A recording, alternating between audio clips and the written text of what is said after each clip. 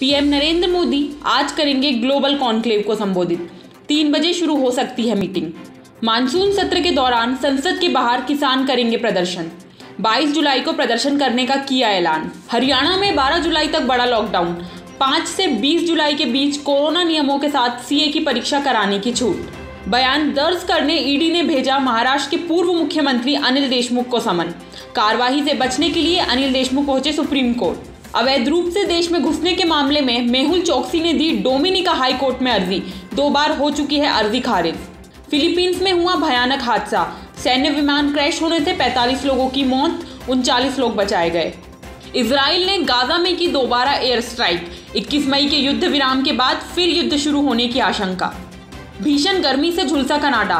तापमान ने तोड़ा रिकॉर्ड। गर्मी से आग लगने की घटनाएँ आई सामने। 12 जुलाई को मिलेगा यूरो कप 2020 का विजेता। इंग्लैंड, इटली, डेनमार्क और स्पेन के बीच खेला जाएगा फाइनल मुकाबला। State of Siege Temple Attack 9 जुलाई को होगी रिलीज़। केन घोष द्वारा निर्देशित होगी फ़िल्म ओटीटी प्लेटफॉर्म पर होगी रिलीज़।